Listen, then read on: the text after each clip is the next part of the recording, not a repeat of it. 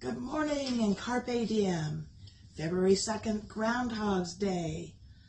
Yes, and Punxsutawney Phil did not see his shadow, so we will be having an early spring. In Utah, it is raining, and I doubt that our guy will see his shadow, so same for us. Um, today is Ayn Rand Day. Ayn Rand was a philosopher of Objectivism.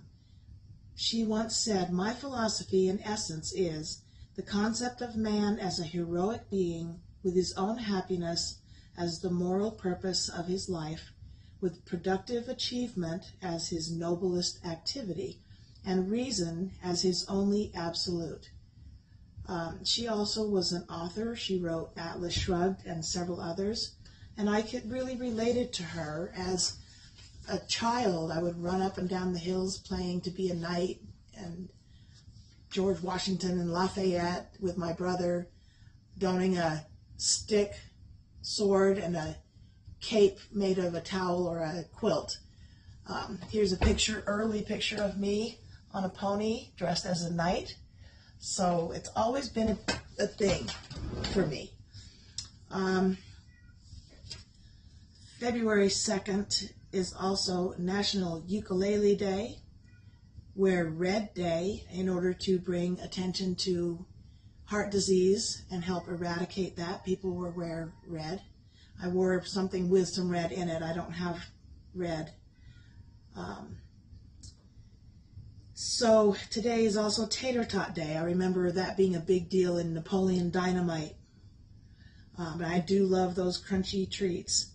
It's also Brown Dog Day, Crepe Day, Marmot and Hedgehog Day. And in honor of it being Black History Month, I want to recommend reading How to Be an Anti-Racist by Ibram X. Kendi and end with a little excerpt from my book, Ripples. Please excuse the, the use of the word, the N-word, as um, it is not something I ever do, but as a kid, I had not been raised to know anything except fear brought about by an incident with my grandfather, which I will include here. Um, there's a good chance that my mouth dropped open when I first met Gumdrop. She was so very lovely. She made the rest of us appear oversized, awkward, and dumpy. She had huge brown eyes and dark curly eyelashes the likes of which I had never before seen except on a hand-painted china doll. Her natural beauty rounded, resounded with the innocence of childhood, perhaps because she had short little pigtails sticking out above her ears, and her skin was as dark as night. Now, this was when I was introduced to the members of the, the gospel band that I was going to be singing with and playing music with. So then, as far as I could remember, this was the first time I had ever been in the same room with a black person, much less spoken with one. My mind flashed back to my brother and I ending our petty childhood standoffs with the rhyme, eeny, meeny, miny, mo, catch a nigger by the toe. If he hollers, let him go, He, out goes Y-O-U. My grandfather, living in Washington, D.C., we were visiting, hearing our exchange, had pulled his car over on the shoulder of the road, turned back toward us, red-faced and wagging his finger, and yelled. He never yelled.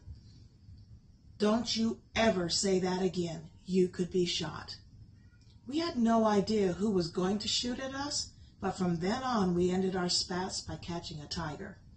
I never forgot Grandpa's warning that I had better be careful how I spoke about black people, and I wasn't at all sure what to say to one, especially one named Gumdrop. And again, this is from my book, Ripples.